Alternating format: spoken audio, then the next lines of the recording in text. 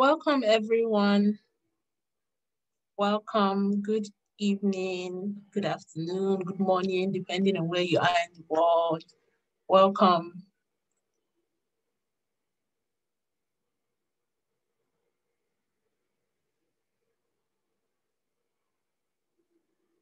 I'm going to kick off at five. We still have one minute, so go invite your friends, your family, anybody you think that needs this, and then come back. Don't go anywhere, just invite them and then we'll start. Welcome, I'm glad you're here. I'm happy to have you here. And our panelists will be joining us soon.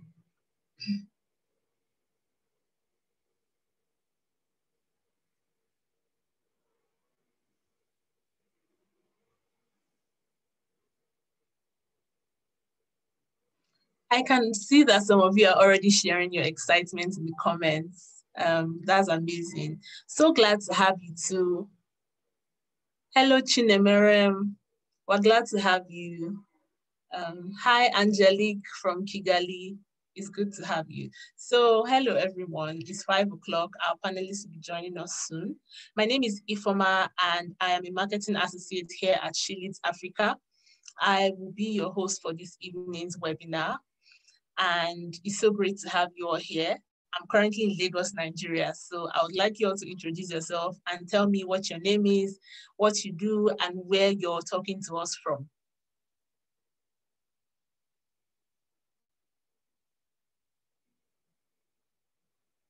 So yes, Fumi, hello Fumi from Nigeria.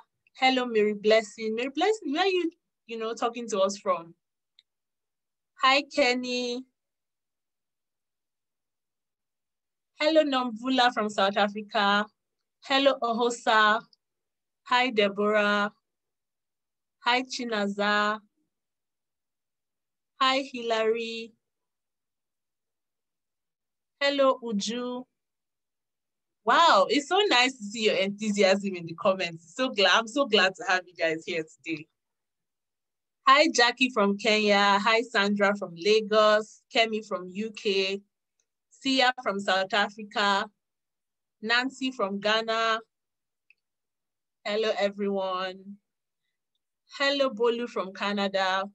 Oh, wow. Our guest is here.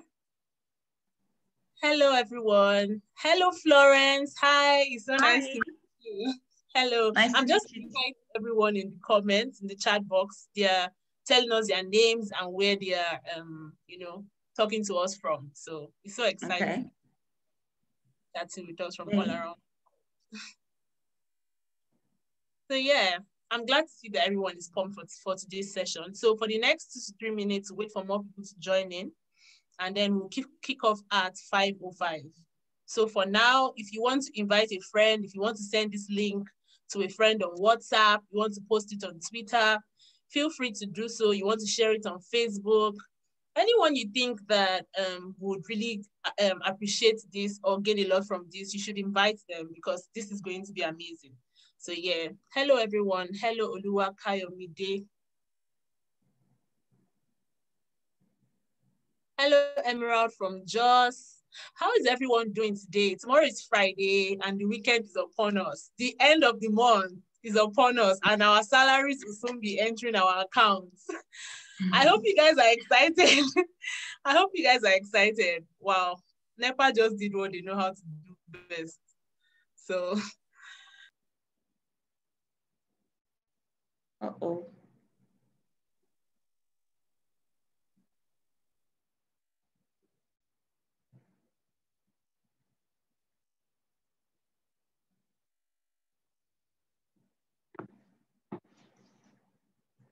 Hi, Kemi. You're super excited. Um, so am I. I'm super excited to be here. Hmm. Hi, everyone. So I'm still here. Don't mind the NEPA, you know, wanted to steal my shine, but my shine will soon be back because someone is turning on the gen. So I'm sure if you can relate, please let me know if this has ever happened to you before.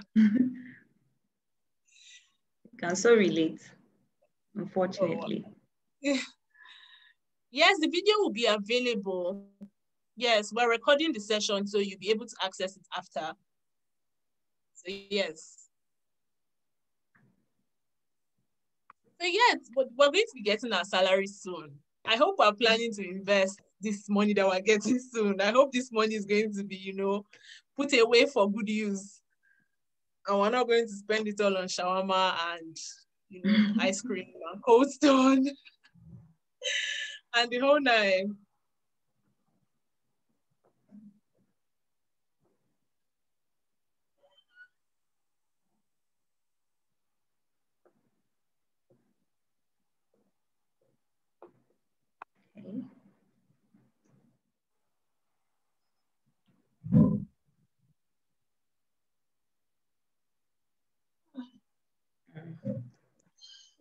Interesting. Okay, I'm back. Yes. So Yay, hello everyone. I'm back just in time. So hello everyone. Thank you for joining us this evening. Like I said before, I'm Ifeoma, a marketing associate here at She Leads Africa. And today we're going to be talking all about stocks. Uh, we have the amazing Florence Warikam joining us today.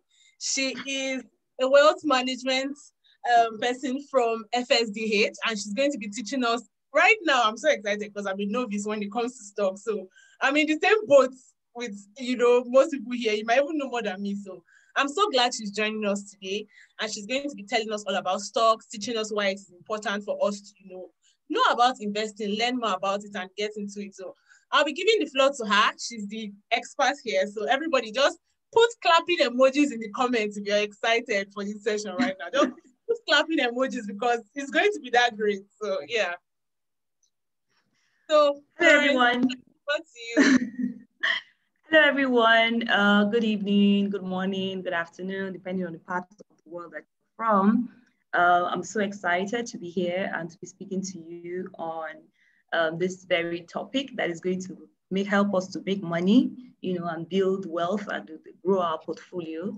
Uh, my name is Florence Warikam, as she has introduced me already. Um, and I hope we're all doing fine, dealing well with the um, corona uh, pandemic. I hope it's not too bad over there, wherever it is that we're coming from. I hope that work is not too stressful. I hope we're all good and fine. So um, without wasting too much time, we'll just start. So I'll just be sharing my screen. And then if you have questions, of course, you can um, put it in the comment box or you can raise up your hand if you want to speak directly and then Ifeoma will coordinate that. So uh, let me do that. Let me share my screen.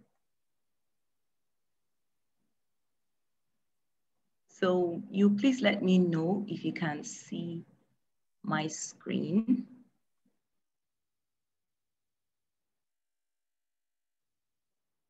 Can everybody see my screen, please? Okay, Ifeoma, if you could just um, speak up, speak so that I know. Well, I don't want to just. I can see your screen right now.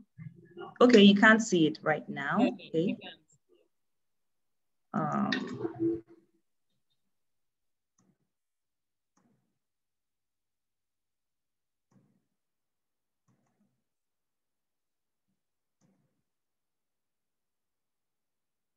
How about now? Can you see my screen now? Yes, I can see your screen now. I can see it now. Okay, okay. So I guess that means everybody can see yes. my screen. All right, if you're just coming in, welcome. Uh, I'll, I'll, it's going to be a quick session so that we can get to do other things. Um, so my name is Florence Warikam. Like I said, I'll be taking us all on a beginner's guide to investing in stocks. Uh, a quick uh, introduction about me so that I'm not like a stranger. My name is Florence Warikam. I have an MBA from University of Lagos. I have a BSc from um, Ahmadu Bello University, Zaria. Um, that's BSc in accounting. And I am actually a chartered accountant in Nigeria. The, um, the of the one of the bodies, the chartered institutions is the is called ICAN, that's Institute of Chartered Accountants of Nigeria. Um, so I am a member, and then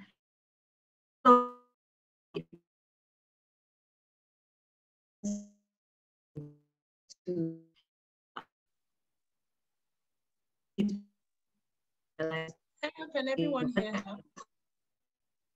Please let me know in the chat box if you can hear her.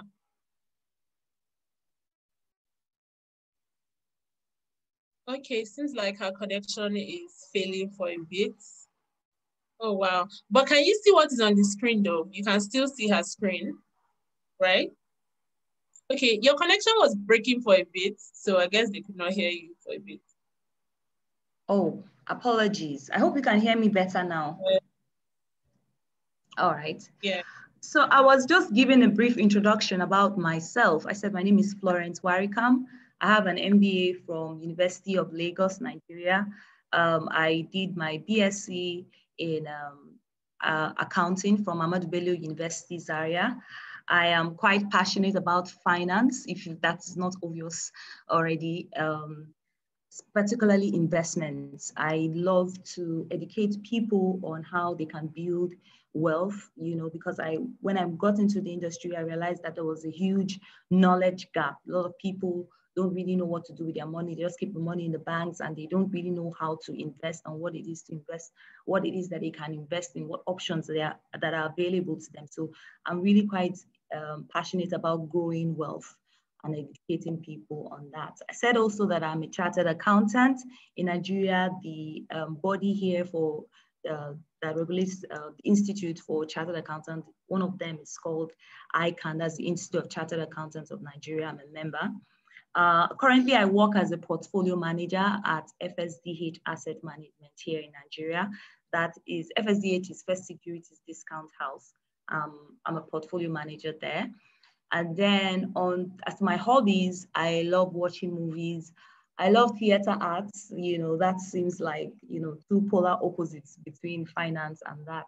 But yeah, it's really what I love. I actually love telling stories so um, it's almost like I have a dual personality because, you know, in the people around the circles of theater arts, they can't believe that I'm a finance professional. And finance, around my finance um, peeps, they can't believe that I'm involved in those, in both. So I don't know, I guess live your life and be happy. That's the lesson in all of this.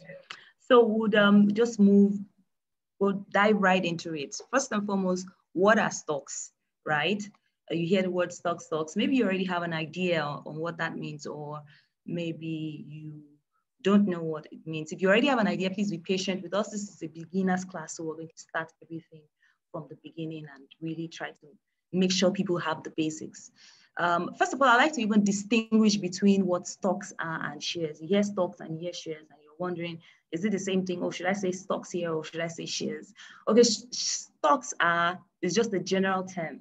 You know, general term for shares. So if you have um, stocks, if you have um, shares in different companies, you say um, stocks, or you, if you just want to talk about stock like the general in different various companies, you say use stocks. But if you're talking about a particular company, you say shares. So I have shares in this company. So that's what it means. Before I move on, in case I interchange them and you know you have that question on your mind.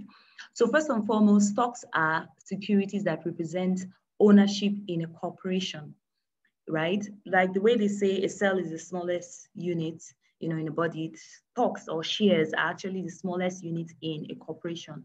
You know, um, if you have a piece of pie or pizza or whatever, how, how when it's being shared into different pieces, you know, every unit of that particular piece of cake or piece of pie or you know it's it's what you can be used to explain is what you can use to liken to stocks or shares. So you know there's a corporation and then the corporation is divided into different um, subunits into this uh, based on its assets. And you know the value of that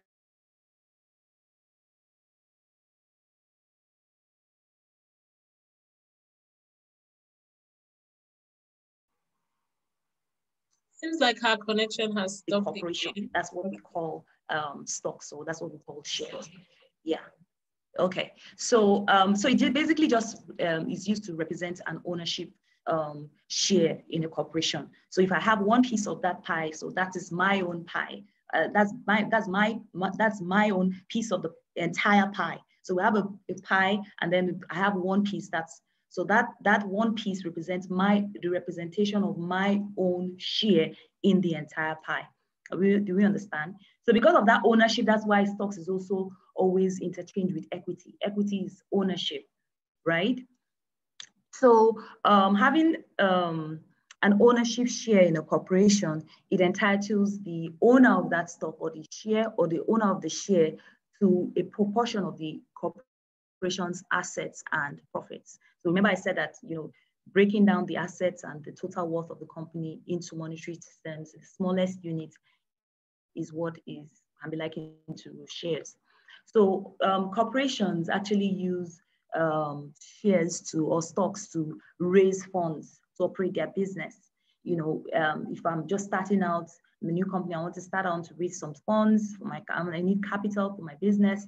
I would go to the um, stock exchange and then I would go to the public. Of course, there's a whole procedure about how you can get, get listed on the stock exchange, go to the public and say, okay, hey, please buy my shares. Um, I am selling a unit of share at so and so price. So it's the corporations use it as a way of raising money. You know, it's a cheaper alternative to raising money, uh, although uh, unlike going to the bank where you be paid in, where you have to pay interest and all of that. So they use it to um, raise funds either the, at the first um, at the first offer, at the first time you're coming onto the stock exchange, that's the initial public offer. They call it IPO, or if you, you, have, you have already been in the public, um, in the stock exchange and you want to raise additional shares, let's say you want to expand as a company, you want to do more, you want to open a new division, you may also come to the stock exchange, you may also um, go to go public and ask people to investors to invest in your fund. So that's the use, that's why that's why companies actually issue stocks basically to raise funds, right? So if you buy, let's say the the stocks, a company stocks um, is being measured by the, um, the, the ownership is of, of a company stock is being measured by the proportion of the um, total share which you, you, you have, which belongs to you. If a company has like 100,000 shares and you have 10,000 shares or 1,000 shares, that means that you own 1% of the company, right? Um, an investor may have stocks in either private or public company. I talked about going um, to the stock exchange. Stock exchange that for companies that want to go public, that's where you hear the Nigerian Stock Exchange. But some, there are some companies that have not gone public, but you know they still have um, shareholders, and those companies are private companies. It's just the private thing.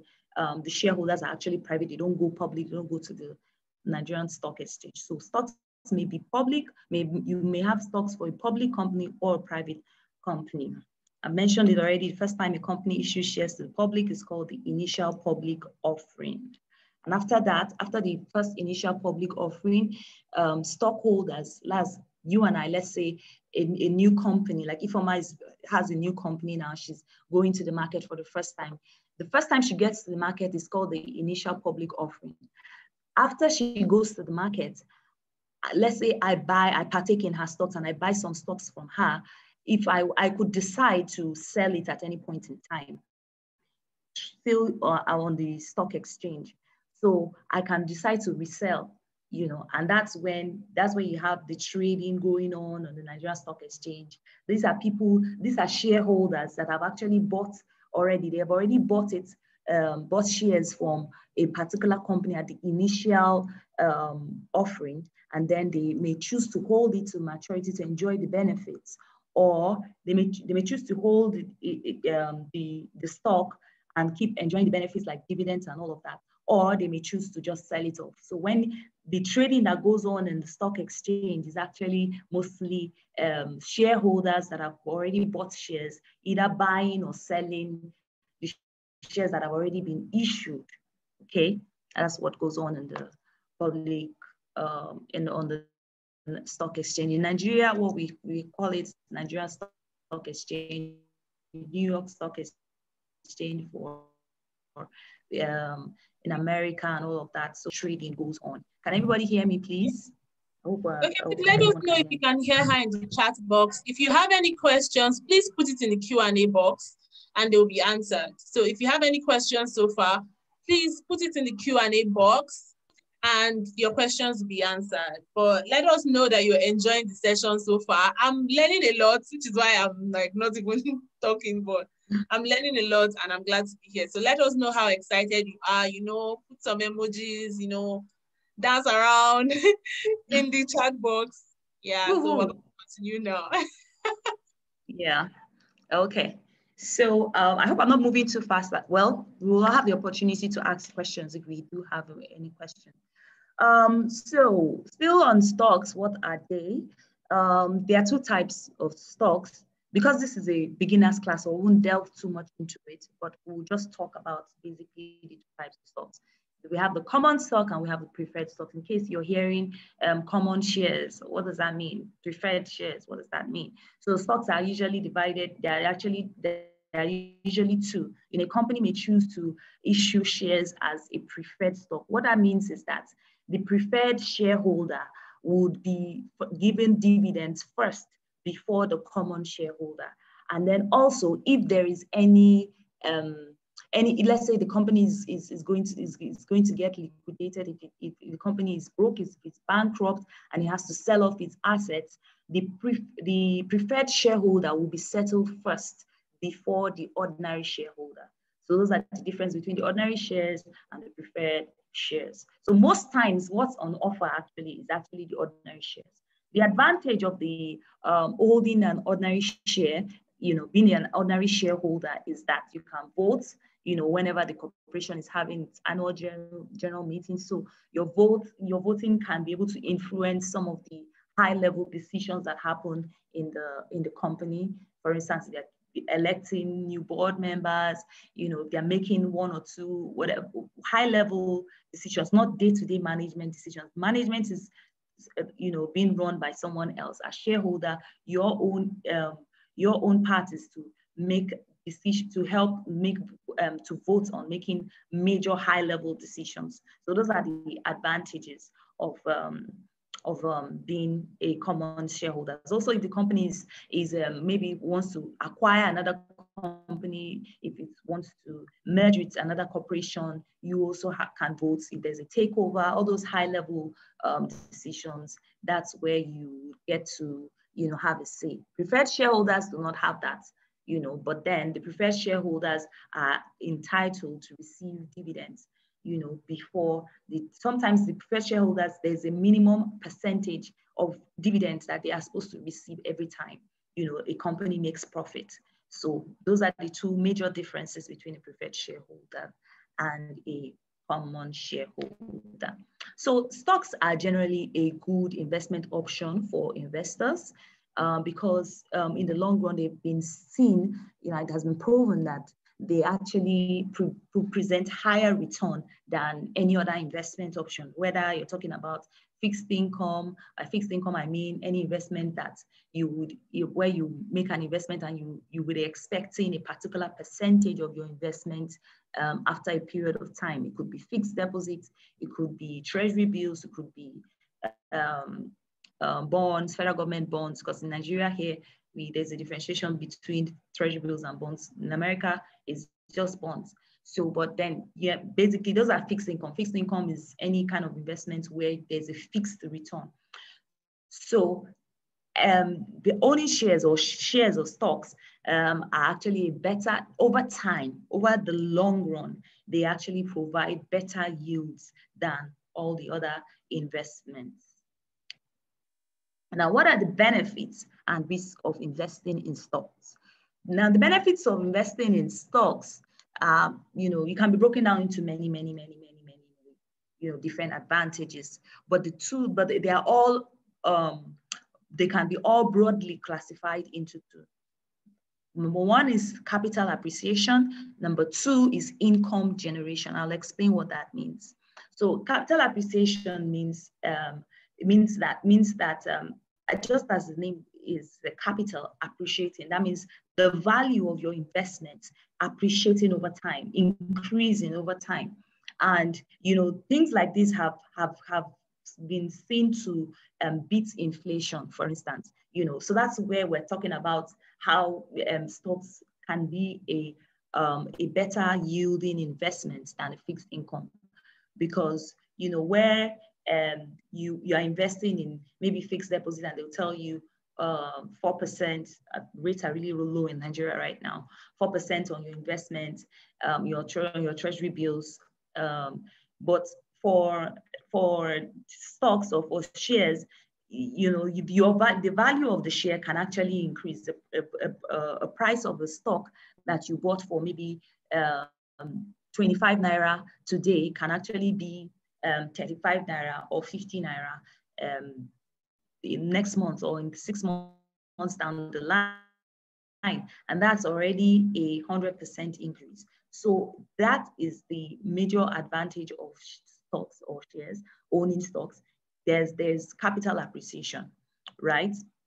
So when the the, the, the price of a share appreciates, it gives you, the investor, the opportunity to sell. Remember, we talked about reselling um, to is still in the market, and then you get your gain, you know, and all of that. The second um, order benefit is uh, income generation. Most, um, the, a lot of stocks, not most, a lot of stocks actually pay dividends. We talked about dividends. Dividends are um, a percentage of a company's earnings which it shares to its, you know, shareholders, you know. So there are some companies that have been known to consistently pay dividends. You know the time when they are expecting dividend, they've been known like historically. So that can provide income gener income for you, where you know that okay, I'm going to be. It's another form of income where you know that there's a certain amount of money hitting my bank account depending on the amount of shares that I own. So that is another way in which you can earn money or, or, or shares, owning shares can be beneficial. Now we're going to talk about the risk. The risk of, own, of, of stocks is that, or owning stocks is that um, they may, prices of the stocks can also go down as well. Just the same way the prices can actually go up, it can also go down, you know, so it fluctuates depending on forces of market um, forces of supply and demand in the market. What do I mean by that? Remember that there's a market where stocks have been traded at the stock exchange, right? So just like any commodity, when there's a high demand of a particular commodity, let's say people are rushing to buy um, Zenith Bank um, shares now, for instance, if there's a high demand, because there's that high demand on it, the price will keep, there is a higher, you know, people, more people want it than people that are willing to sell it. So naturally the price will be going appreciating. And if at a particular point in time, people are not, yeah, there's more, more people are willing to dispose of those shares or sell of those shares than those who are willing to buy it, then definitely the price would actually come down go down because people are willing to sell. So the forces of market uh, of, of the market, that is forces of demand and supply, would actually can actually have an influence on the um, price of the stock. Also, the general economic um, performance also can actually have a market sentiment, can have, have an effect on the price. If, if, if, the investors do not believe that the company is going to make money, or if the investors do not even believe in the economy, then um, there, there is a tendency that they want to pull out of the market. For instance, last year, um, sometime around February, March, when the corona, you know, pandemic hits, you know, hits um, the world, people became, investors became skeptical and they began to lose confidence in the stock market. Um, and then a lot of foreign investors began to pull out of the Nigerian stock um, market. And as a result, the prices of the stocks went down, you know. So those are the other reasons. It, macroeconomic conditions can also influence, um, you know, the performance of the price of the stock. So it is actually natural when you see that the prices of stocks, stocks, the stock market generally always goes in cyclic in a cycle. It actually has a cycle, the cyclical time. Sometimes there'll be a demand for it. People will be going in and then the price will be appreciating. And other times it will go down, you know. And then there are also periodic times also when people would, um, when you find out that there's an appreciation in the market, you know, from, you know, so a lot of times where, especially where the market is being dominated by foreign investors, in the beginning, around January, a lot of foreign investors will come into the market and then you know so there'll be a lot of demand for shares. And then around and december when companies are beginning to wind down they're beginning to close their books, they're beginning to, you know, So the most time you see a lot of withdrawal, you know, coming out. Uh, people are withdrawing from the market because they're trying to close their books. They're trying to see how much profit they've made and all of that. This is not a rule book, right? There are different conditions, and that's why you have your professional stockbroker to actually guide you. I'm just letting us know some of the factors that actually could influence um, the stock market and the reason why you see, oh, you open the news the papers today, you see that, oh, the stock markets are doing high, investors gain this, or you open another, market, you see, oh, investors lost so and so price. So I'm just making us understand the reason why there are those fluctuations and the why there are those cyclical movements in the market. So also another risk is that, okay, so it's not always advisable to just sell your stocks immediately the market starts to fluctuate. Like, let me say you put in this amount and today you notice that, okay, let me say 100,000, tomorrow is 90,000. You're like, hey, let me go sell my stocks so I don't want to. So it's not always advisable to do that. It's not actually. It's not. We're going to be talking about that uh, much uh, later. But you know, generally in the market, you buy when the prices are low, and then you buy low and you sell high. So you know, when people are rushing out, except if you, you that's why you need a professional anyway. You can consult with professionals, speak with them, and, and all of that. The truth is that it's just like what you rightly said. You only materialize your loss when you actually decide to sell at a time when the price is low, right? If, um, let's say you bought um, Zenith Bank at maybe 20 Naira or 25 Naira, or maybe 29 Naira, so I think that's about how much it's going for now. And then tomorrow you now hear that Zenith Bank, oh, the price is now um, 25 naira. Ah, you, you now go, let me withdraw my start. Oh, my money to finish. You now withdraw it. It was an on it was even though technically on paper it's like oh my money my money i, I lost yeah. funds you only actually lose your funds when you actually decide to sell at a lower price because tomorrow the price may also go up again so don't be too quick don't be too quick to rush to either buy or sell you know, don't do panic rushing, don't do panic selling. Don't do panic selling. Panic selling is a no-no. So that's why before you even choose stock, which I'll be talking to us about how you can pick some stocks, you would make sure you evaluate a lot of things. You look at the fundamentals. And when you're pretty confident as to how and why you bought those, those, those shares, and you hear that there is um, maybe a fluctuation in the market and all of that, you will not be easily fazed. You will not be easily rattled by, oh, there's now the price, there's a decline in the market. Should I go and quickly sell? If you actually are confident and you know um, the kind of stocks that you have bought, you will not be easily fazed, especially when you know the reason why some of this fluctuation happens. You know, sometimes um, the price of a stock will be appreciating when it's time for the company to pay dividend. So investors will watch it and they will be like, oh, this company usually pays dividend around this time. I want to take in part in this dividend. So I will quickly go and buy. When I buy, the price will start increasing. And then after the dividend, people that are just there for the dividend, which is normal, people invest, investors invest for different reasons. An investor may choose to um, sell. And then you're seeing that, oh, it's selling, ah, it was um, 35 Naira, now it's 30 Naira, without really understanding why they're selling. You now say, me too, I want to sell and then you will have just you know made a mistake. So it's good to understand the market very well. yes, exactly. So another risk is that um, a company can a company may go bankrupt, and you know it has to liquidate its assets, and the common stockholders, like I mentioned earlier, they are the last to receive you know last in line share in the proceeds. So that's another risk. A company can go down you know, you never can tell. A company can go down, and if it goes down, there goes your funds if you're a com common um, shareholder. Um, yeah. So let's talk about if stocks are good for you. Are stocks good for you? Well, I would say yes, but then let's go further.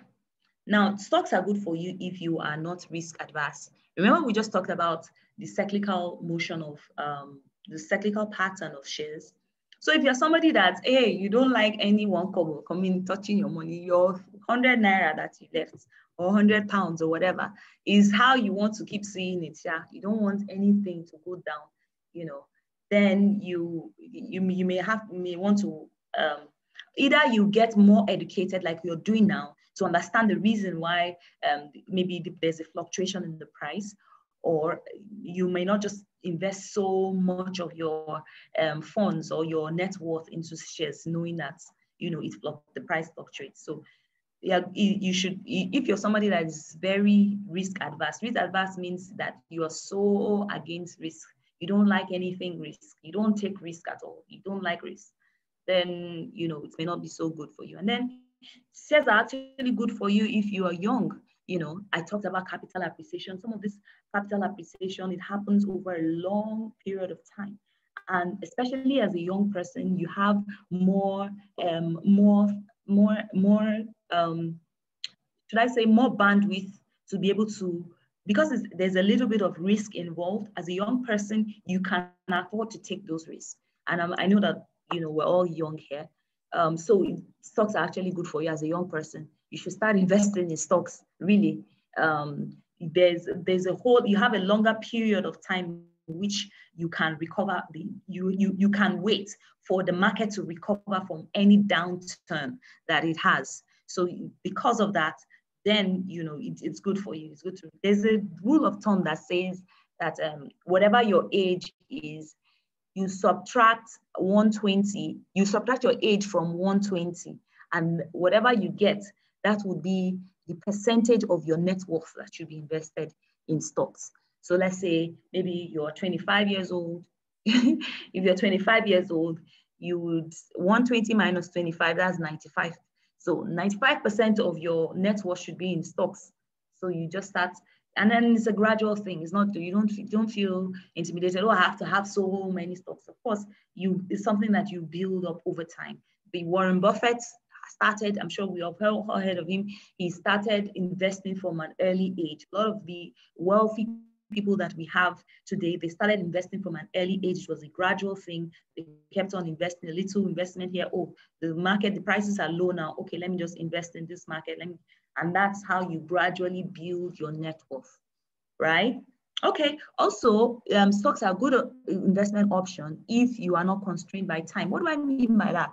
You know, I, uh, you, if you are someone that maybe you have a spare cash, maybe you have a spare 1,000 naira or 1,000, whatever currency that you use, and then um, you say, I, you actually know that you need this 1,000 naira to pay your rent, or you need it for any particular, maybe there's a particular um, expense or, you know, a fee that you need to pay at a, at a certain month, maybe by June this year that's not the time to start investing that your 1000 naira in stocks right? Because the market like i said it goes in circles and it's also unpredictable. You cannot tell you know you, you can there, there are many indicators that will be able to forecast and say this and that but then no, there's no crystal ball really. You know you can make educated and calculated risk but it's not the time for you to maybe use your rent money or something that you know you have a bill to pay at a particular month in time and you want to say I want to exit the market at or, or I want to exit the market on the 12th of June 2021. You know, it doesn't work that way. You know, you should you, you should have other funds that will cover those basics, you know. Um yeah, so if you want to make that kind, that's why fixed income investments are available. So you would invest in that fixed income. You know, fixed income is targeted, your fixed deposit in 30 days, this is how much you see. So those are for those kind of expenses, those are the kind of investments that you go for. Stocks, we're looking at medium to long term, right? Medium, not necessarily long term. Before, it's possible that even in the short term, you know, you're already getting, like in, um, in the Nigerian stock market, for instance, January alone, there was 5% um, increase. So people that the 5% appreciation in the value, their net value. So people that they're, they're, the people that um, at the beginning of the year, they, their stocks were um, maybe they were like, there was like 10 Naira per share.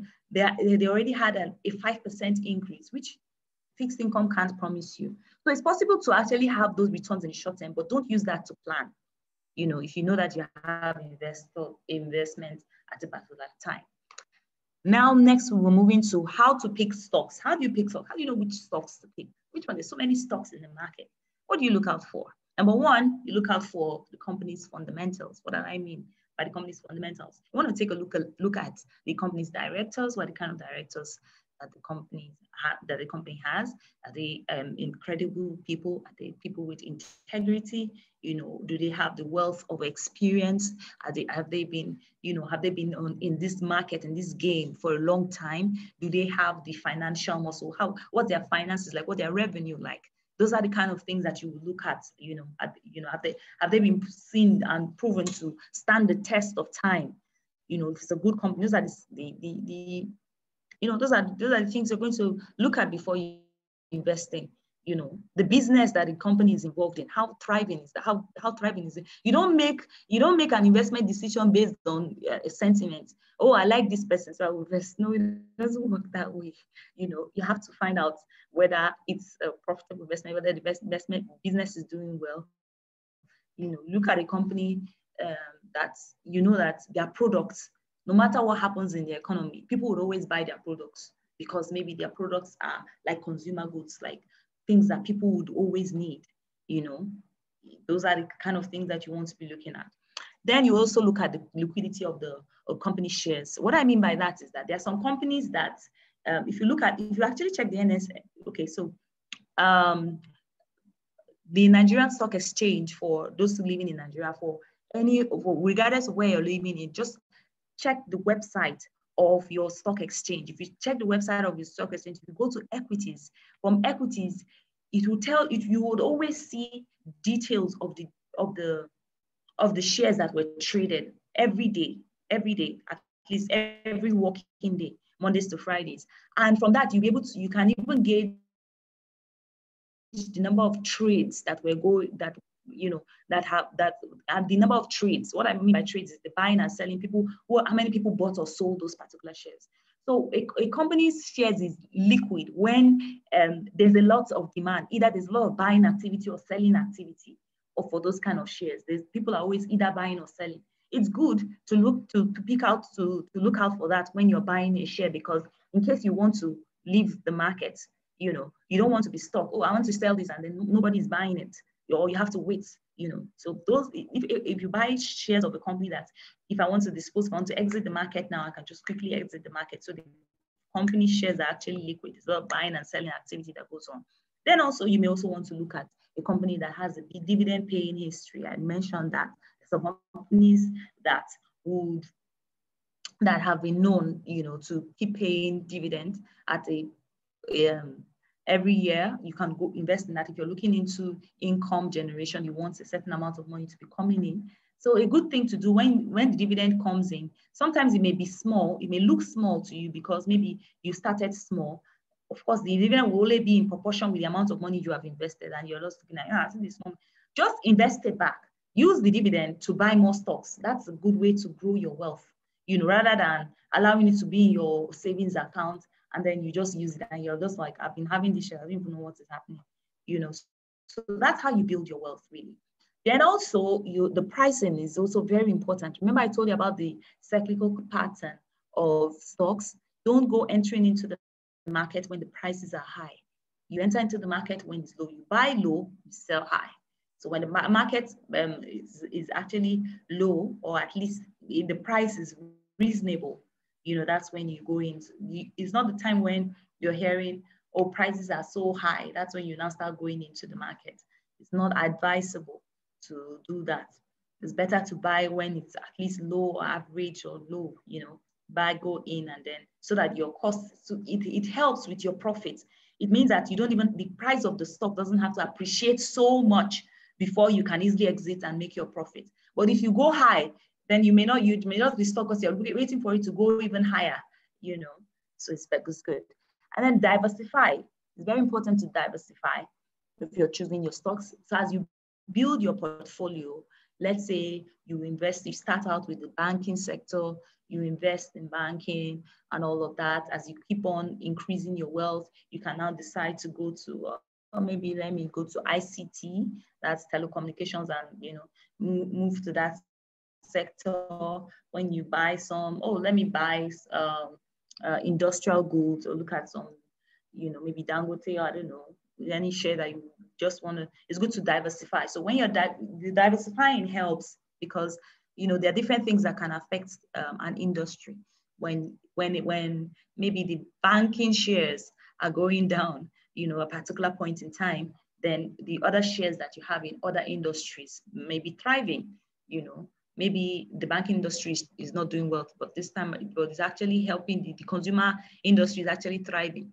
Maybe yeah, the banking share is not doing well, but the um, ICT, the telecommunications is actually doing great. So it helps to even out your and minimize your loss. That's what that does, okay? Um, so also focus on the long term. When you're buying shares, don't just focus on the short term. Don't just focus on um, something that will just, you know, make quick money. Stocks are not for you if you're looking to make quick money, if you're looking to double your money that it's going to happen. It's one of the things that happen. But if that is your mentality, that's what you're thinking, you'll be very disappointed. It's just for building wealth over time.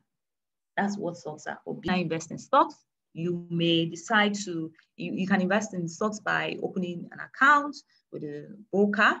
You know, there's so many stock broking firms. You want to look for a, a credible one. You go to the Securities and Exchange Commission. That's the those guys that um, have regulate the, the um, different investors, the different um, they are basically the regulatory body for people that play in the stock market. You can look out for um, registered or you know verified stock broking houses. You know, you check it there. There are plenty of them. You can pick one, or you can still make some inquiries, make your inquiries, which stockbroking house do I want to invest in? Is some that one that has a good reputation, pick one out, open an account with them. They would help you to start buying. You can buy your stocks and sell through them. You can also invest through um, vehicles or funds or pooled investment options like um, mutual fund or ETF. There are many mutual funds nowadays. Look for a good company that has mutual funds. You can pick one and buy. So the advantage of mutual funds is, you know, if investing through a mutual fund is that you are now investing to an already diversified portfolio. Most times those um, pooled investment options, they what they do is that they take funds from different individuals and then sum it all up and then use it to invest, you know. And that what that helps is that it, it what that helps you is that you will be able to enjoy higher returns than if you were investing as an individual. However, you know, when then when you want to exit, you just sell units of those investments, you just sell it and then you go off. But if you want to have like stocks in your own name, you know, that's where you can now buy your individual stocks so that you know that you are you are a shareholder in a particular company. You could buy it in, as an individual, or you could use um, those investment or um, options. Wow. Uh, depending on part of the country, you um, some robo investors and all of that, that you, where you can actually um, just buy your shares through those options. And that it will be all. I can't believe we're done already. okay, thank you so much. yes, so we have a lot of questions in the Q&A box. A lot of people are dying to ask their questions about stocks. And I'm on the boat too, because from what I understand, investing is like planting. So you put seed in the ground and you don't expect fruits to come out the next day. You have to be patient. You have to take the risk. You have to, you know, examine the soil well. You have to water it. You have to be watchful to make sure that, you know, your your plants will grow. So I like plants, so that was a good analogy for me. And I mean, I'll be I'll be reading more about it, but I'm so glad to have you here. I'm sure everyone here is glad to have you. I can see in the chat box they're saying it's interesting. This is so awesome. Thank you so much. So yeah, 33 questions in the chat box. Um, some of them are the same questions, but a lot of them are different. Okay. Someone asked, how can I invest in companies that haven't gone public?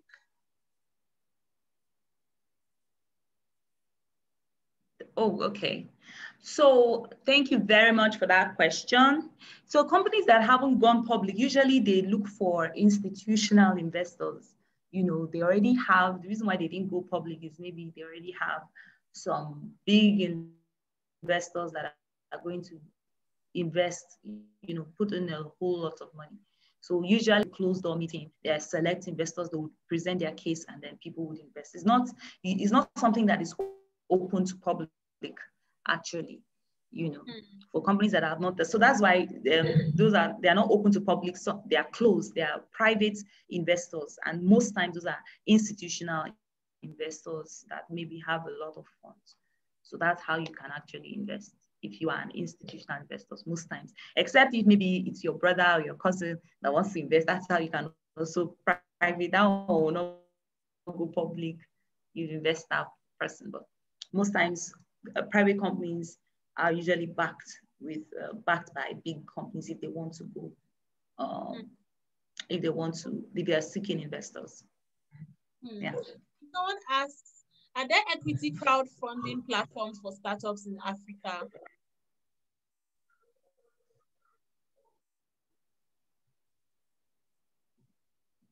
Mm, not that I know of now.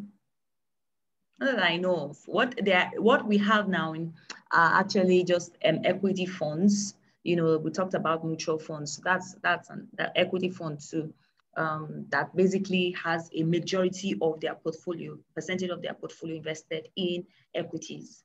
Um, yeah, we've um, explained what those funds do.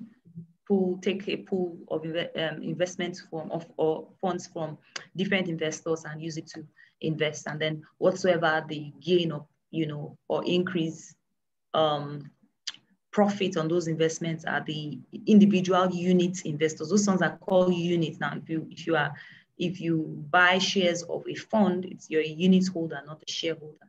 So those units, whatever appreciation, whatever gains, is being shared to the unit holders. Okay. Is there a set quota to the number of shares a company can issue at IPO, or are companies free to decide for themselves? Okay, so there's a whole process of um, of of um, actually, you know, before you even get to the point where you'd be able to do an IPO, um, the regulatory body SEC NSE would have to check your books and check a lot of things whether you have that. So yes, there may be some form of some some um, restrictions as to the amount and how, how much you can actually invest. Yes because there, there is you're being regulated. Yeah. Mm, okay. Um, someone said, I read in a financial publication that 1,000 Naira can be invested in stock. How true is this? Yes, it's possible for 1,000 Naira to be invested in stocks. Very possible because, uh, I mean, how much is the, the price of an average stock? 20 Naira, even the ones that are expensive, maybe 100, 100 and something Naira. Yes, um, um, Nestle goes for 104. It's currently going for 1,400 um, naira. I, I, think that Nestle is the highest um, stock in the market right now. But you can buy a whole, whole many other shares with your 1,000 naira. But it depends on the stockbroking um, companies. So most times um, there's a minimum for, for stockbroking companies, there's a minimum opening amount, you know, but then I think things are getting more competitive now. So it's possible for those stockbroking um, companies to, especially uh, in student environments and all that, even say, you know what, just open for free. Start with your 1,000 naira. So yeah, with 1,000 naira, you can buy a lot of shares. You can buy your 10 stocks if you like, You can buy. So that's how you start building your wealth. You have a 1,000 naira here, you buy 10 stocks. Next week, you have another free 1,000. Instead of using it to buy shawarma, you buy more stocks. Just make sure you are buying good stocks and all of that. And that's how you just keep building your portfolio. Tomorrow you now hear, ah, this stock I bought for uh, 25 naira, ah, it's selling for 30 naira. You might not choose that. Okay, should I sell it? Hmm, okay, let me sell it. Or maybe say, no, let me wait. feel like it. I'm an investor now. Ah, money has grown. you know. That's that's so true. Because I'm like, if you even have children that you want to teach about investing, it's a good way to start them off. Like, okay, you saved your lunch money. Now there's a way for you to make another like more money legally and teach them patience too, so they can invest 1,000, 2,000 with time. I mean, to grow, they learn more from practically doing it. So yeah, that makes sense. Yeah. Um, and then, okay. And definitely, there's definitely a sense of accomplishment. So I'm a shareholder. Yeah. See, I'm part owner of this company. Yes. Yeah, it's true you know, and it helps. The more, yeah, you get you get rewarded, you feel satisfaction, you feel happy with yourself, you feel productive. Yeah, yeah. Um, so Onyinye asks, in Nigeria, for instance, is it possible for my capital to appreciate past the rate of inflation? Like at the rate of inflation correct currently, is it actually possible to get value that is not depreciated in the long run?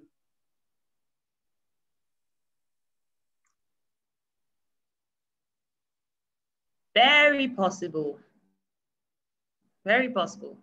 As a matter of fact, Nigerian Stock Exchange here, as at beginning of the year, you know, the prices of the average share, um, average share price had increased at, by the end of the year, the average that it had increased by 50%, 50.3%. That was Nigerian uh, stock market actually performed, I think was the best in the world uh, Nigerian Stock Exchange, the performance last year. So yeah, it's an easy way for you to get um, to beat inflation. We talked about it. Investing in shares is a good way for you to um, beat inflation. Yeah, someone says, can you give us names of companies that pay dividend? Names of what? Companies that pay dividend. I didn't get that. Names of what, please? Companies that pay dividend. Oh, okay. Um, yeah, sure. Um, we, uh, companies that pay dividend regularly, um, that, um, we have Dangote, we Dangote Cement. Um, then we have also um, Zenith, the banks also pay dividends. Zenith Bank, UBA, um, GT Bank, those First Bank also, you know, they pay, they've been, they've paid dividend consistently for some time now. So you can just almost expect or almost predict that, okay, they're going to pay dividend as long as they make profit. Mm. Yeah. Okay, Debbie asks, there's a recent increase in day trading stocks. Can you help us outline the difference between this and investing? Which is more profitable? There's a I didn't get the question. There's a recent increase in day trading stocks, day trading okay. stocks. Can you help us outline the differences between this and investing? Which one is more profitable? Maybe she needs to explain to me what day trading stocks means. I'm not sure I understand. Okay, so then if you're still here with us, please explain in the chat box what day trading stocks are so we can address your question properly. Um, hmm. so, uh, okay, do dividends apply to those who, okay, this is still a day trading question. So if you ask any question about day trading, please um, add, like clarify in the comments so that we can answer your question. Yeah. Now, um, Tori asks, how can you differentiate between a Ponzi scheme and a real investment? Isn't everything about taking risks?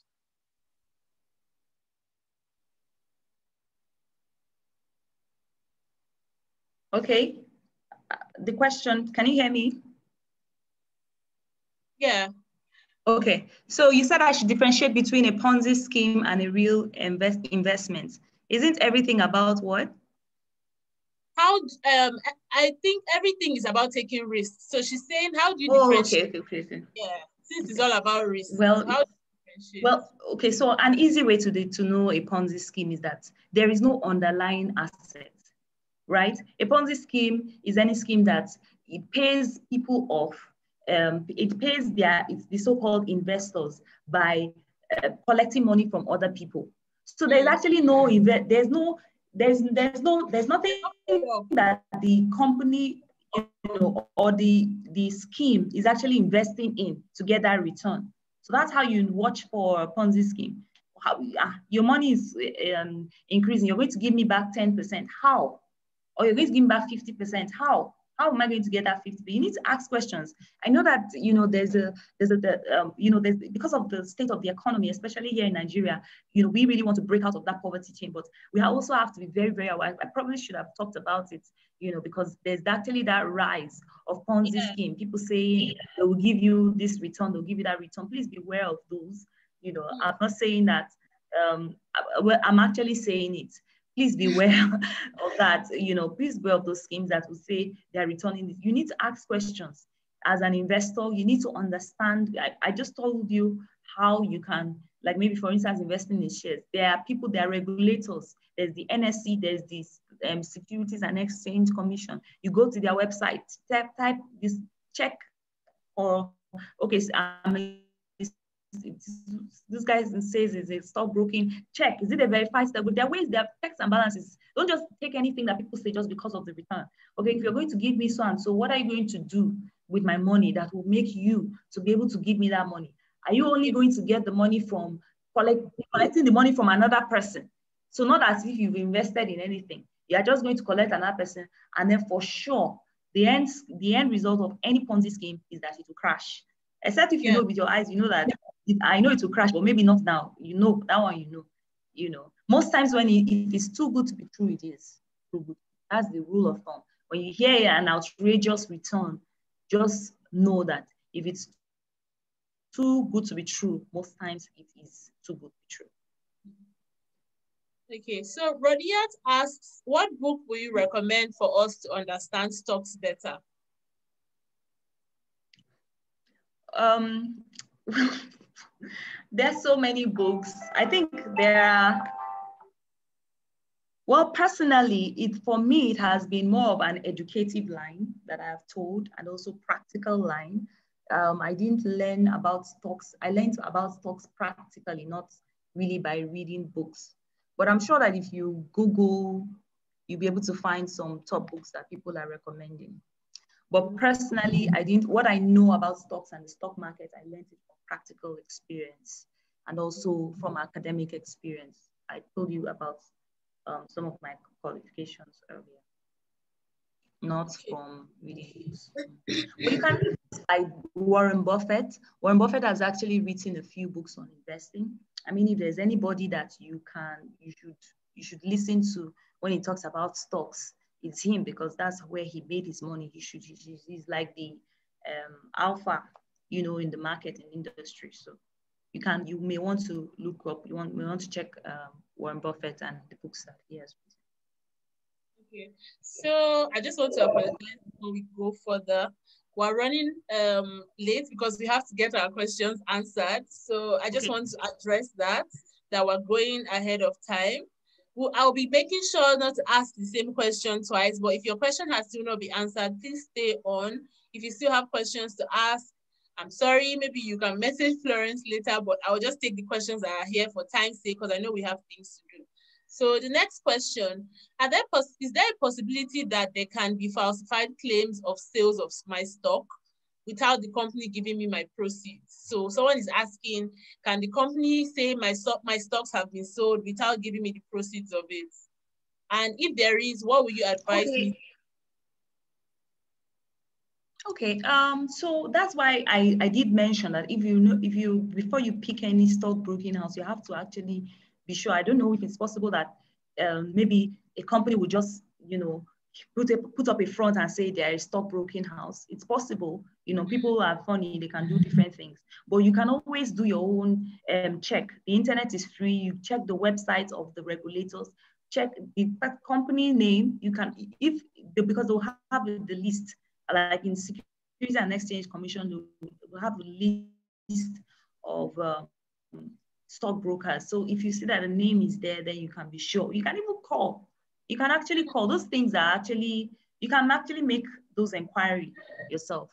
Yeah. And if if you are in, a, unfortunately, somebody that has happened to you, then re report the, uh, the, the, to the line, the number on the uh, Securities and Exchange Commission, the website. Just report, and that's what you can do. Okay. Ohosa asks, how do you opt to be a preference shareholder rather than an ordinary shareholder when buying stocks? Okay, it's not actually something that you opt, it's actually the company that will decide that, okay, they are offering um, this preference. It's not something that you now opt to. So that's, um, it's the company that actually makes that decision. And usually comes with conditions like the amount of money that you should invest. The price of the preference shareholders are also different. The, the price of the stocks of those shares are also different. So yeah, that's how that's how it works. So most times, most okay. offer, most times tell you ordinary shares, most times. Hmm. Okay. So Flourish asks, are there stocks that don't give dividends? Yes, there are stocks that don't pay dividends. Like um, they call them growth stocks. You know, um, you know, there's some, if it's a new company, if it's a growing company now, for instance, um, you don't expect a growing company to start paying dividends all the time. Most likely, most likely what a growing company would do, even when they make profit, is that they would reinvest. They call it retained earnings. Whatever profit that they've made, you know, from doing business, they would reinvest it into the company to keep to keep um, increasing and keep being strong. Most times, companies that pay dividends are actually older companies, companies that have been there for a while, you know, established companies so yes, there are companies that may not always pay dividend, but that doesn't mean that they are less. Um, so those are actually growth stocks.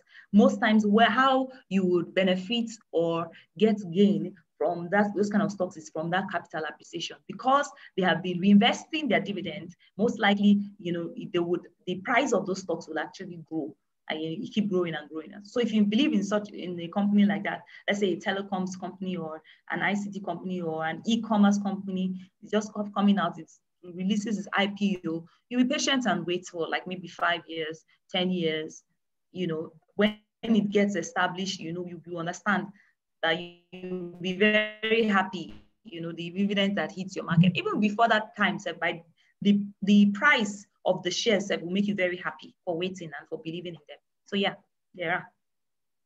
Okay. So um, Finance Boss Babe, I like your name by the way, Finance Boss Babe.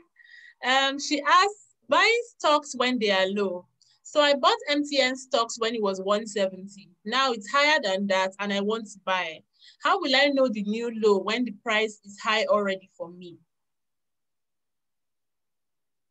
That's a good question. Um, so, well, you know the new low basically from like his from looking at the history of the price, you know, of the price of that particular share.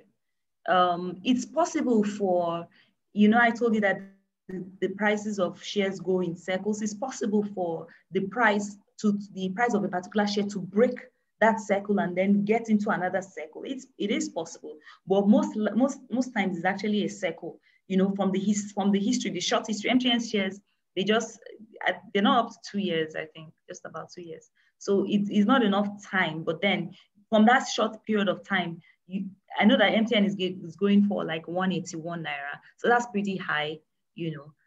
You may choose to just wait a bit, um, wait for the price of the of the shares to actually still come down, mm. you know wait for the price to, to come down before you actually go back into the market again, except if you're targeting the dividend because you know very soon to be dividend season you want to buy shares because of the dividends that you're going to receive so yeah knowing the the, the, the low of a company is just by watching its historical price and its cycle that's how you know whether this is high or this is actually low now or it's just by looking at the history of that particular stock.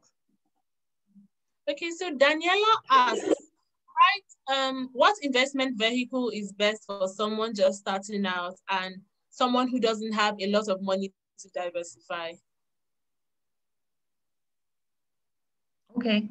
Um, so remember I already said that you it doesn't mean that you have to have so much money if you want to diversify. You could actually stick things in bits, right? You can actually start in bits. But if you if you um if you want to you want to already have the advantage of diversification acts upon starting, then you would go for mutual funds. You go for an equity um, investment or a balanced fund that has some equities and other things. That's how, that's the best, that's your easiest bet if you want to start with small money and then yet enjoy the benefits of diversification is by a mutual fund. Yeah, okay. So Flourish asks, what is mutual fund exactly? Okay, so mutual fund is um, and is, is, a is an investment vehicle, right? Is a way you can invest as an investor um, by how, how it works is that it, it um, takes money from retail invest, investors. Retail investors are like people like you and me, not institutional, not um, companies or company investors or big time investors. It takes their funds, they are 5,000 naira here, they are 1,000 naira, 2,000, 3,000 sums it up into a pool of money, and with that, you it, you will be able to invest in, like maybe say treasury bills. Treasury bills, we hear that, you, you know, treasury bills, if you want to invest in treasury bills directly um, from the CBN, is up is 50 million and 1,000. Now, an individual may not have 50 million and 1,000, but you can invest in a mutual fund. That mutual fund will eventually take all those sums of money and invest in treasury bills, invest in all those other things. So that's those are mutual funds. Mutual funds are just like name mutual, mutual from different invest individual or private um, mm. um, retail investors, and then the fund is being collated and used to invest in different things like equities, like fixed income, like this and that. So that's what that's what it is. So it's like so when asset you and all your sisters. Okay, sorry.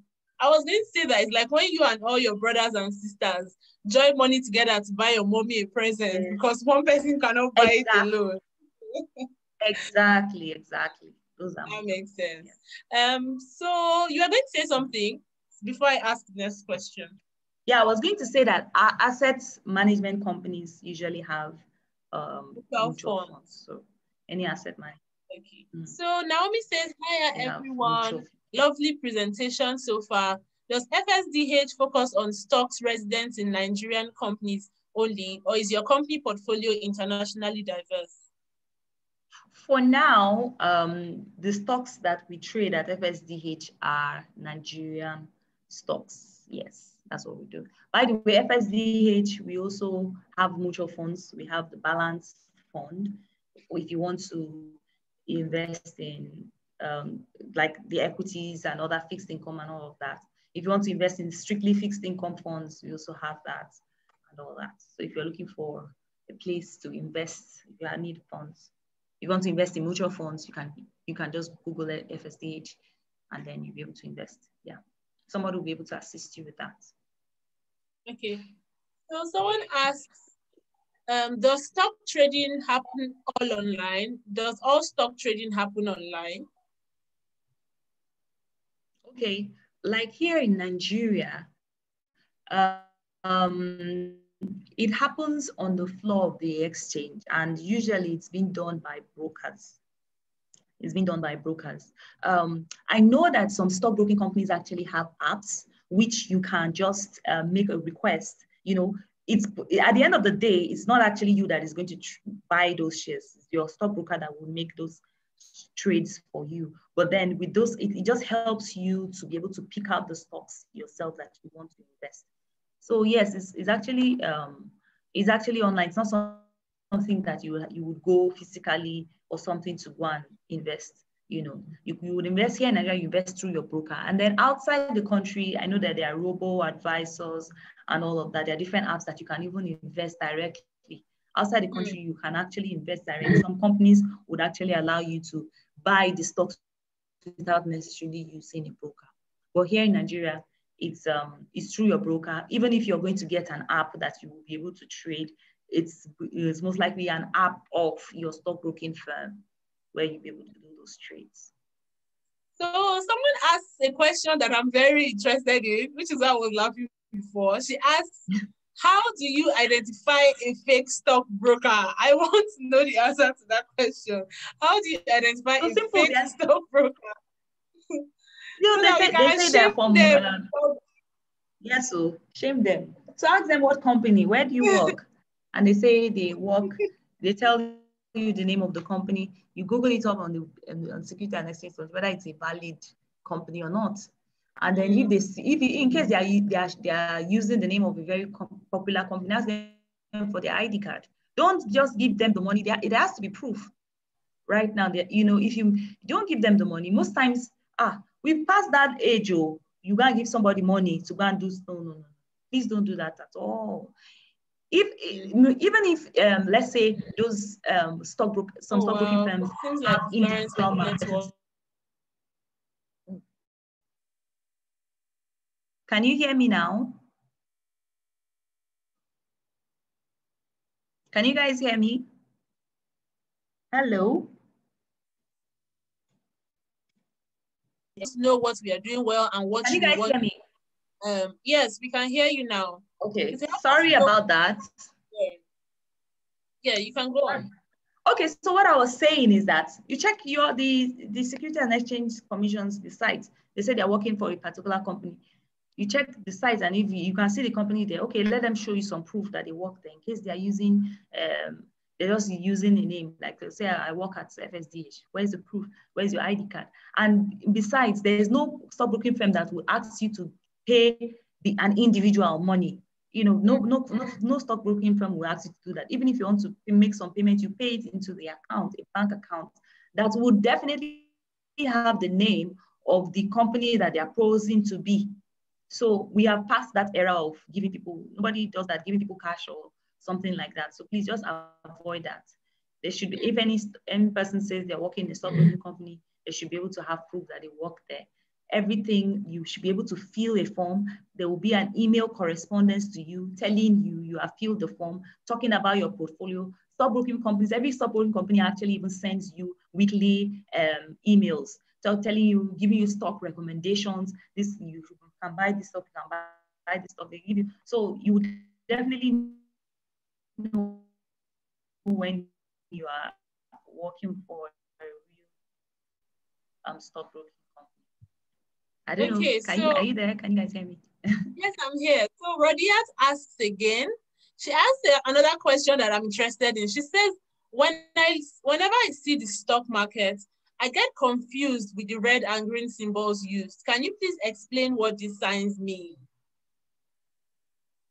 Oh, okay. So, you know, red naturally means, you know, there's danger or something. When there's a negative, maybe there's a maybe the price of a particular share it, it has decreased in in price maybe it was 10 naira yesterday today so they usually use red to show that there's a decrease or you know green when there's an appreciation in the price when the price has increased yeah mm.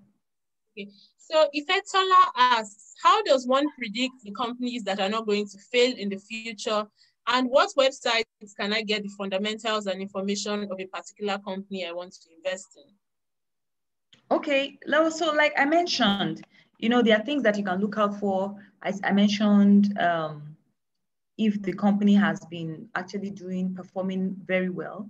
And then, you know, once you have stocks, it's good for you to be uh, economically aware. Um, at least you'll be, you'll be aware of your economy, you'll be aware of the macroeconomic conditions of the economy. I did mention that um, most stockbroking firms actually send um, recommendations, you know, every every week. If you have a good stockbroking firm, they will tell you things that are happening, things that are going on. You know, there are weekly newsletters, so you could just read those letters, and then that will may help you to even have a sense, a feel of what's going on. Just helps you to become educated, um, you know, about what's going on in your company in the in your environment in your in your economy um yeah so yeah so like i, I did mention the products um you know having good experience um you know having stood the withstood the test of time those are good indicators that you want to make you believe that i um, talked about you know if a particular sector is thriving now like now you know that the work from home you and i were using data now although i don't know why my data has been embarrassing me. so, but what you at work from home has definitely, you know, it has increased the um, consumption, you know, of data, and you, you just you just expect that, um, you know, the, the ICT companies will be doing well, you know, and all of that. And then it's not all. Nobody is actually a monopoly of knowledge. It's actually just reading asking your stockbroker questions. Most times, if you most likely if you open a stockbroking account, there will be an account officer. You can ask your stock your account officer questions. You want to know. They send you information too. So it's a gradual thing. You just keep learning and learning getting more comfortable. Okay, so um, someone asked, do stock prices differ from country to country? Yes, because um, stock prices are actually the prices of um, a, particular, a particular company's shares in the market. And every company usually has their the shares traded in that particular company's stock exchange. So yeah, it's not as if, like if I want to buy the shares of uh, maybe Apple now, I have to go through the New York Stock Exchange, not Nigerian Stock Exchange now. So the stock exchange of your company would, would, would be trading shares of companies that are incorporated, you know, in Nigeria, that domiciled in Nigeria. Okay, so Ifetola and Kende asked, where can I find a reputable and trusted stockbroking company? Can you recommend any? I can recommend FSDH Securities. That's where I work. So yeah, they are reputable. It's a big company. Yeah, it's a good company. That's so one. Sheila, I hope I'm getting this right. Sheila asks, are there any apps you can use for the Nigerian Stock Exchange? Apps. No, the apps come from, um, so an, the Nigerian Stock Exchange is a website. You just go to the website and find any information that you need, right? Hmm. So if you're talking about app now, an app is basically the comp is, is mostly companies now that would have an app for whatever purpose that they need, you know, whatever um, that would help their customers or their clients to be able to do one or two transactional, um, you know, to carry out one or two things. So that's an app, you know, but you're talking about Nigeria Stock Exchange. Nigeria Stock Exchange is a regulatory body, is a, is, you know, that it basically it, it regulates um, the stock exchange in Nigeria. So the stock exchange is a marketplace where the stock is being traded, stock exchange. So where, where stocks are being traded. So the one for Nigeria, you know, is the Nigerian Stock Exchange. So, and, and, if you go to the website of Nigerian Stock Exchange, you can find information about stocks that are being traded and all of that and all that. But if you're talking about app now, you're talking about maybe a company's app, like maybe a stockbroking company that is under the Nigerian Stock Exchange. It has an app that will maybe allow you to buy shares through them, you know, and all that. Yeah. Okay, so Vivian asks, for foreign stocks, do you advise I wait and get money for a unit stock? Like I know Tesla is over 600K, or can I buy like a fraction and continue until I have a full stock?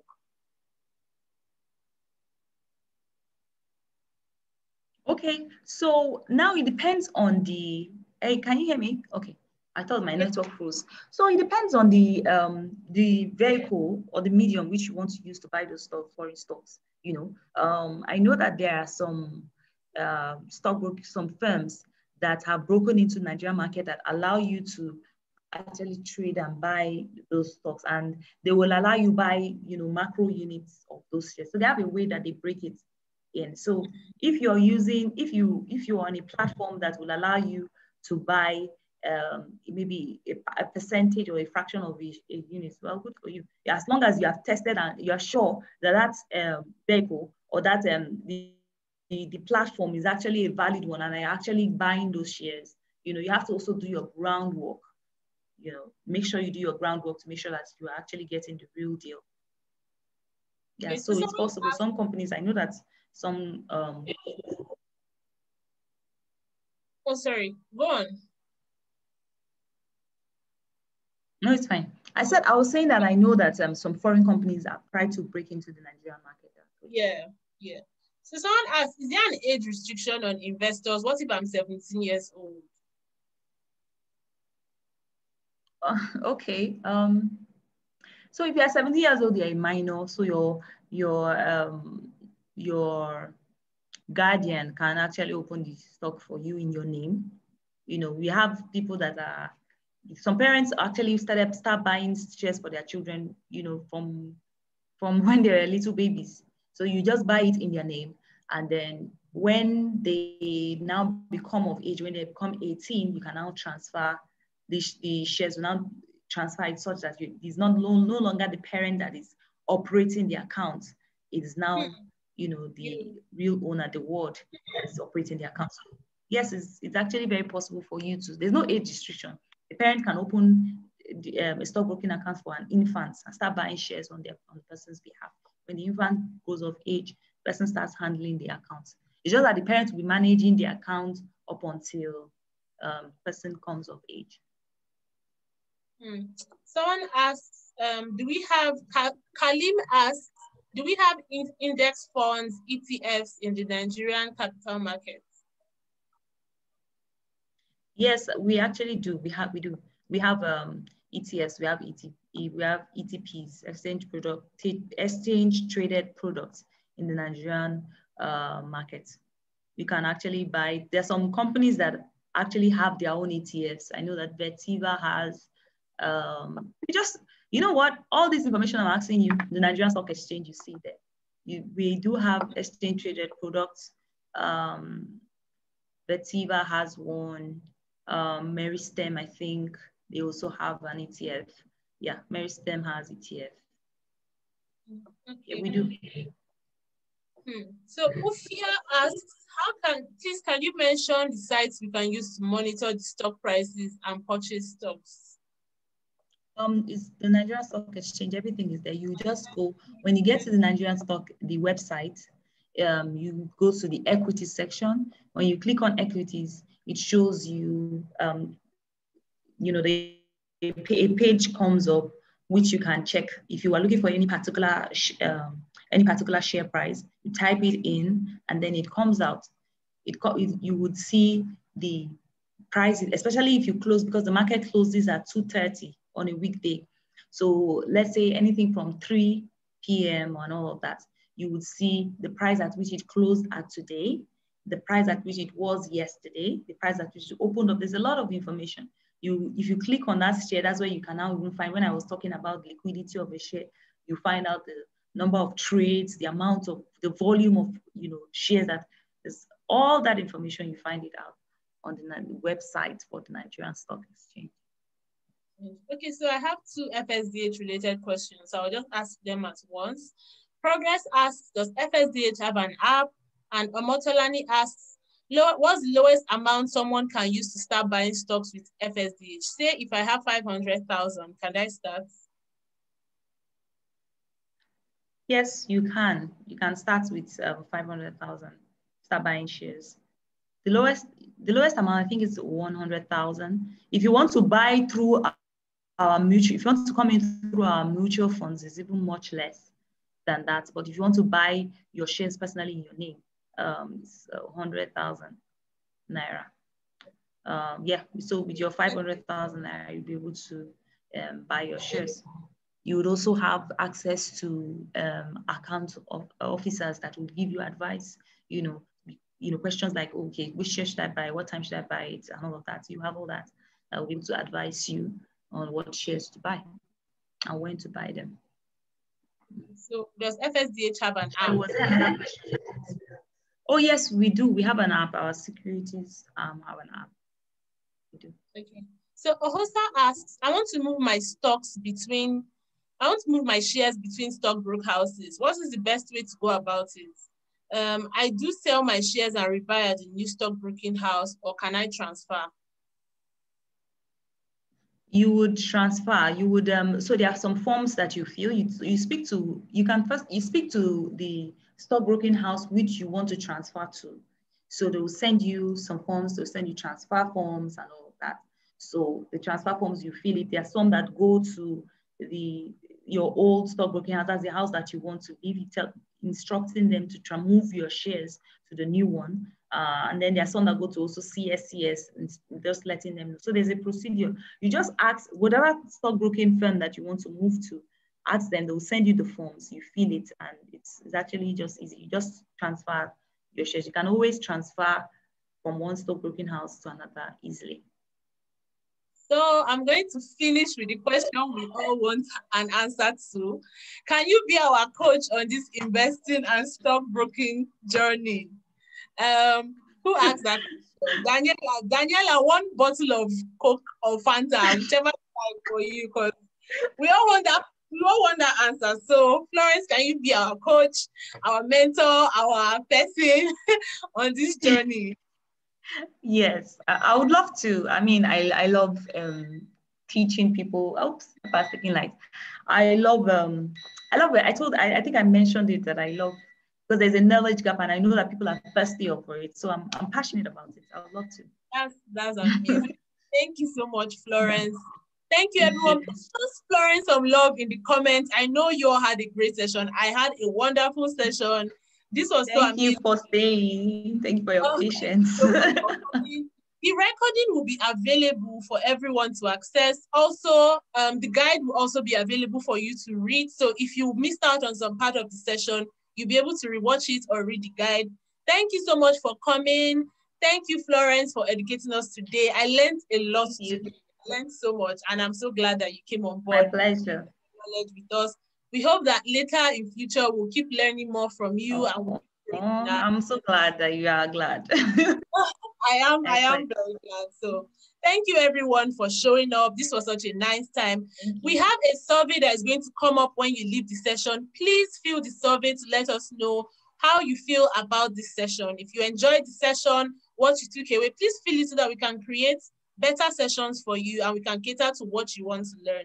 So thank you everyone. Thank you for staying over the time. Thank you for being such good sports and say thank you to Florence. Florence, before you go, they're wondering how they can reach you. Um, so do you have like a Facebook, Instagram, email? How can they, okay. how can they contact you? okay, so my Instagram um, handle is F Zolamos. I don't know. Um, F hmm. Zolamos. and then, okay, my email address, I think email is good. Okay. Um, email is florencewarikam at gmail.com. So yeah, okay. my name is already there. So it's okay. florencewarikam at gmail.com. Okay. So please yeah. message Florence with her email and I'm sure she will give you a response because she's she's our new coach here. So yes, she will definitely give you a response. Thank you, everyone. I hope you have a wonderful weekend. Tomorrow is Friday, and this is salary week. All that you have learned here today, don't carry all your salary money and go use it to buy uh, shawarma when there are stocks to buy. I want every time you think of shawarma now, you think of stocks. So don't ah, carry. Don't buy shawarma. buy shawarma, but don't spend all your money on shawarma. if not, you just see Florence at the shawarma spot looking at you. I'm telling you, my face just be like. Mm-hmm. All right. so thank you so much. Thank you everyone for joining. Have a good day, and we'll yeah. see you in the next session that we have. My name is Ifeoma from She Leads Africa, and our host is Florence Warikam. Bye, everyone. Please don't forget to fill the survey. Bye. It's on the screen. Please fill it so that we can, you know, create better sessions for you. So everyone say bye to Florence. Bye, Florence. Bye. Thank you. You're welcome. So I'm going to end the session now.